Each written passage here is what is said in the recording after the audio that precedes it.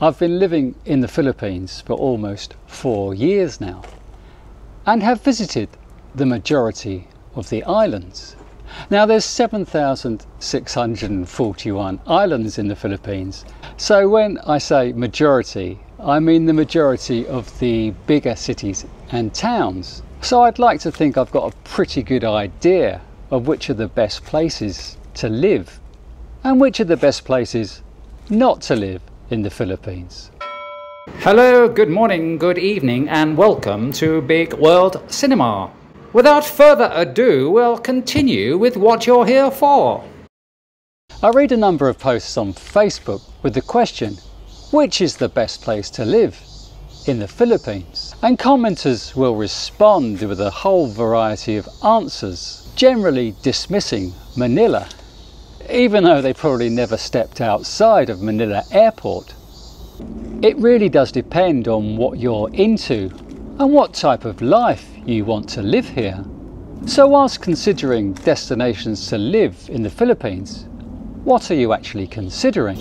Are you looking to replicate what you have in your own country or are you looking for a completely different experience? Just to put some context into my situation, I grew up in Essex, just outside London. The City of London played a major role in my life. At 18 years of age, I got a job as an office clerk in St Paul's, near St Paul's Cathedral. So I would commute into London for five years from my parents' home in Essex. Then when I hit 30, I got a job at a university in West London, so moved into lodgings in West Ealing and remained living in London for a further 17 years. So yeah, I love what a big city offers. I also love beaches. In my late 40s, I moved to Brighton on the south coast of England, which is a city with a beach attached. Well, it's not really a decent beach. It's got pebbles, which not only are a pain to walk on, but also a pain in the butt to sit on after five minutes. But living by the sea is spiritually uplifting for me. So I remained in Brighton for 10 years until I moved to Asia in December 2019. So I'm a city boy who loves beaches. I love street life, somewhere easily walkable. Ideally, I'd like to start my day walking along a boulevard, a boardwalk, or a beach, but not all places can offer this. I love being outside, spending time visiting parks, open spaces, sitting outside al fresco cafes or diners, sitting and reading. So the place I choose to live needs not to be too over polluted with jeepney fumes or heavy traffic. I love being stimulated by creative stuff, visiting museums, galleries and being inspired by culture. I also enjoy reading, so ideally I'd like to be near a city or town with a decent bookshop. Most cities in the Philippines will have the National Bookstore, but their stock is quite limited. Does the place feel safe? I'm always being told to go and live in Brazil or Cape Town, which are big cities with beaches attached, but why would I choose to live somewhere where I was constantly on guard, fearing my crown jewels are going to be snatched from me any second? Also close to an international airport where I can get away whenever I feel like it. It needs to have good healthcare, a decent hospital, and quite importantly, a decent gym where I can work out every day. Can I replicate the life I lived in the UK somewhere in the Philippines. I'm not asking too much, am I? I'm going to start by listing places I've lived in for the last four years in the Philippines, which I'm considering as a long-term option. And I'm also going to talk about the places that I'm not considering, which you might be familiar with. Enjoy. Cebu is a big city that doesn't really feel like a big city. I spent a lot of time in Cebu.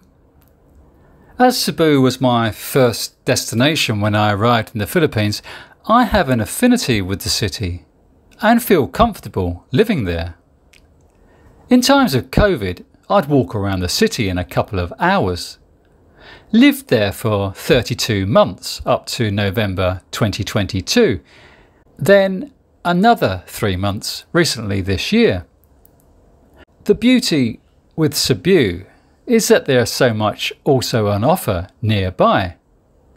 If you live in Cebu City, within three hours you've got easy access to decent beach towns such as Moalboal, plus neighbouring islands off the coast of Cebu, such as Bantayan, Malapascua, and Camotes. But I always feel that Cebu is lacking something when I'm living there. It has some good places to dine and hang out, but not that many. During my most recent three month stint in Cebu, I warmed to the IT Park area, which does offer some good outdoor bars and restaurants. There's also a nice roof garden on top of the mall at SM Seaside, although when you're only listing malls as good places to hang out, then something's missing. Living in Cebu City, you can just take a ride for half an hour up to the hills and visit the gardens around Sirao, where there's also good restaurants and great views of Cebu City below. Would I want to live permanently in Cebu? Probably not. Living in Cebu City, you've also got some great neighbouring larger islands such as Bohol, Leyte, and Negros. It's funny when people say that sort of thing. We've got some great places nearby. Surely the whole point of living somewhere is living there rather than what nearby offers. Although in the case of Dumaguete, being close to the neighbouring islands of Siquijor and Mindanao far outweigh the benefits of actually living in Dumaguete. Manila has for me what Cebu lacks.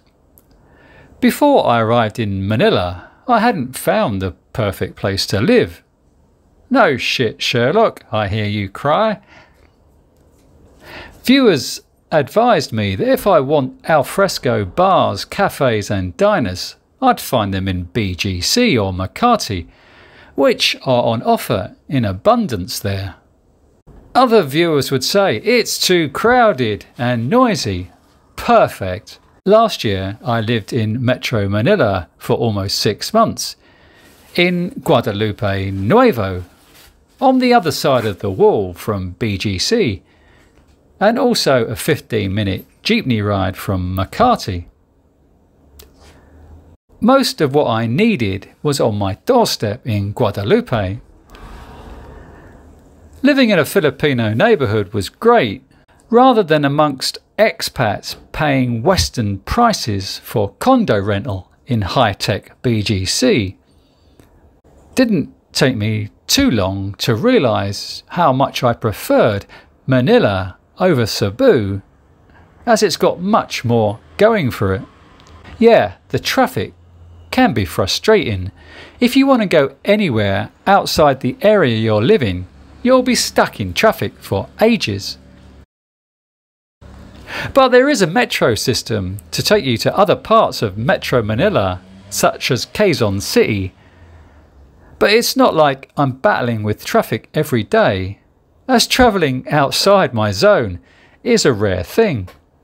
So, yeah, Manila is a place I could live full time.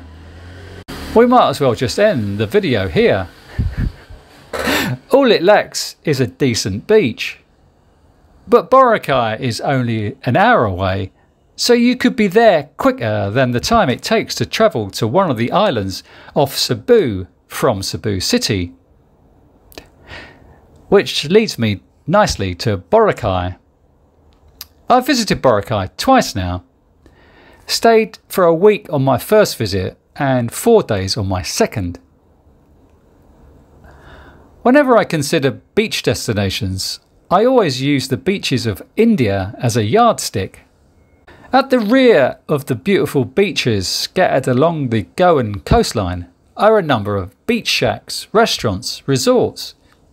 So you can sit and have your lunch, a beer, or lie in your bed and look out over a beach view. I was wanting a beach in the Philippines to replicate that. Here at BWC, Uncle doesn't charge a subscription fee like Auntie does, but buying us a coffee would be much appreciated. Thank you. And found it in Boracay. I instantly felt affinity to Boracay on my first visit.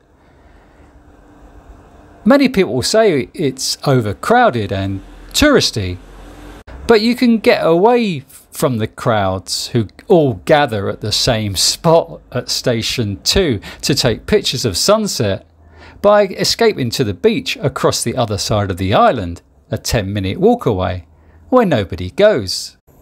When I visited Boracay for my first visit, I thought at the time I'd like to stay there for a longer period of time. But on my second visit, I didn't feel the same.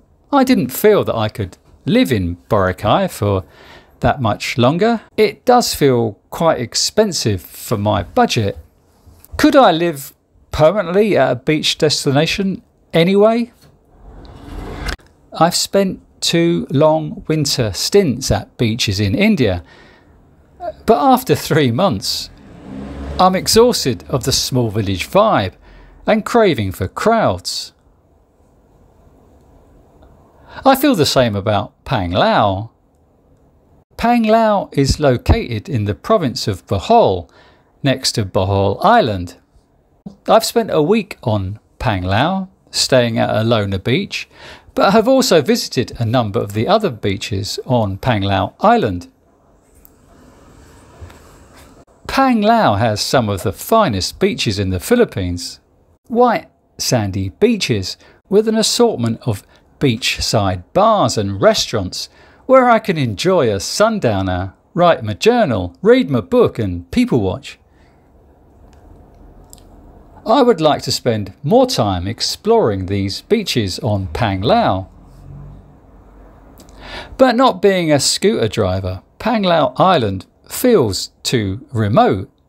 When the sun goes down and darkness kicks in, it feels isolated with a lack of options. At least living in the city, you have an option of being able to walk the streets after dark or walk around the mall. Panglao just reminds me of small islands that shut down at sunset and you're in the dark until sunrise. But the attraction of Panglao is being close to Tagbilaran City on Bohol Island, where I stayed for 10 nights. I love Bohol. It's one of my favourite islands in the whole of the Philippines. The people are great. Sure, the people are great everywhere in the Philippines. But I found Boholians to be particularly welcoming. Specifically, when I returned to the island from Mindanao en route to Dumaguete and took a trike from the bus station to the port, with the driver requesting the local fare rather than increasing the price tenfold, which has happened quite frequently in other places in the Philippines, but not so on Bohol. But the city is lacking. There's a couple of small malls and alfresco places to chill, but that's about it, which is a shame. With its proximity to great beaches on Panglao, if Tagbilaran was a bigger city with more to offer, it would be a great place to live. Maybe in 10 years' time, when I'm dead. So, back to Mindanao. I speak a lot about my love of India, having visited the country nine times over the past 27 years, so I find the large island of Mindanao with its diverse blend of cultures particularly appealing. If you've been watching my recent videos from Mindanao, you'll know I've just spent a month travelling in the area known as the Red Zone, which is considered an unsafe part of Mindanao to travel. As much as it was great visiting half a dozen cities and towns where few foreigners frequent, it's probably not a good idea living there permanently. Not that there was enough to make me want to live in those smaller cities anyway, but larger Mindanao cities tell a different story. I've spent a week in Cagayan de Oro, which has a vibrant street life. It's not a particularly huge city and pretty easy to navigate, with a number of malls and condos near to each other, and everything you need within a close proximity. I've also spent a fortnight in Davao, which is a much larger city, declared the second safest city in Southeast Asia behind Chiang Mai in Thailand. I stayed in a lovely Airbnb with a breathtaking view over Samal Island. There were a handful of expats living in that condo block who gathered at the pool each day. The pool was great and the complex also had an okay gym. If that Airbnb condo I was staying in became available long time, I'd have jumped at it. I shall be returning to give these two cities a more thorough going over, plus also considering the cooler city of Malaybalay in Bukidnon and General Santos City. So my current shortlist of where I live in the Philippines is actually uh, quite short. But there are a few places in Mindanao which still have potential, so watch this space. So, what about the cities or towns that I've uh, negated, such as Duma Dumaguete or Duma Regretti, as I like to refer to it, as so many foreigners have followed such bad advice by moving there, only to instantly regret it. I've been there twice now, stayed there a fortnight each visit. Each time I'm there, I'm reminded of the Clash song, City of the Dead. On my second visit, I warmed to the place a bit more, found some decent places to eat, walked the boardwalk many times, trying to work up some enthusiasm for the city, which is no bigger than a town really but still struggled to find words to fill the space on a postcard to send home. You should live in Iloilo, they say. Why? I ask. I've also stayed there twice now. Iloilo is often mentioned as a fast growing modern city and does have a lovely vibe, but it's not growing as fast as I'd like it to. Apart from the lovely riverside walk, which is, uh, strangely enough, a walkway that runs beside the river, I find Iloilo to be too spread out and lacking a proper city centre as such, apart from the area called City Proper, which is not really a proper city after all.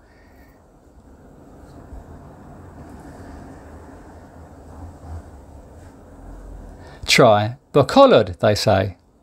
I've visited Bacolod twice now. the best thing about Bacolod was travelling 15 kilometres away to Silay City, which was known in the past as the Paris of Negros and the cultural and intellectual hub of Negros. Due to the residents' love for knowledge and works of art. So maybe I should spend more time there 15 kilometres away from Bacolod. So that's about it. Palawan? Nah, I found Puerto Princesa City, like a lot of Palawan, to be quite dirty. Mindoro? No thanks. Angeles? Horrible. The only other uncharted territory that's due a visit is Leyte. Unless there's other places in the Philippines which you, as my viewers, may think would be a decent fit for me, then kindly let me know in the comment section below. Otherwise, I'm going to live in Manila. See you there. Take care.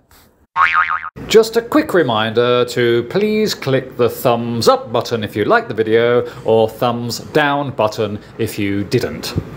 Obviously. Thank you.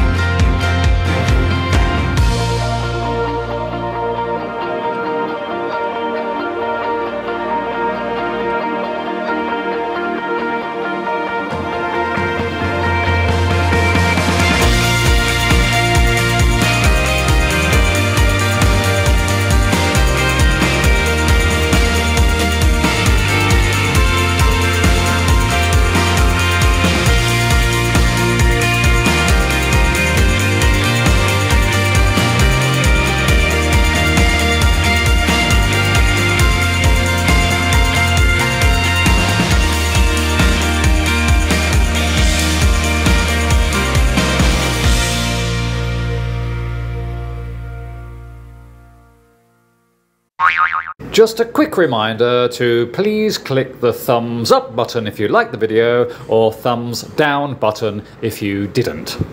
Obviously. Thank you.